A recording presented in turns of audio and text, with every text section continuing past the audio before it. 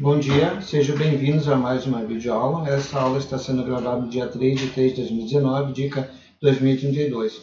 Hoje eu vou mostrar como extrair tag do XML com XML Extract String. Para isso eu vou usar a função XML Extract String. Eu estou aqui no meu curso privado para os assinantes. Eu vou clicar em Creation, botão, botão direito de script. O novo botão vai se chamar btn lendo tag com XML Extract String. Vou dar OK. O botão direito, entrar no código do botão.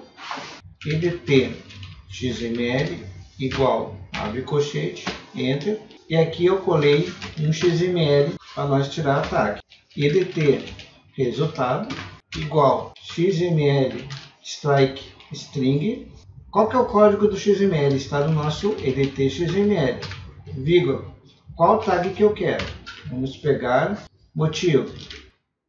Vou dar OK. Estou aqui no meu procura XML. Vou clicar ler tag com XML string. E aqui apareceu o XML e aqui apareceu o serviço em operação, beleza? Pegou essa tag aqui. Compartilhe o canal YouTube Amarildo Matos com seus colegas e amigos e dê seu like e seu joinha. Isso aí, valeu, tchau!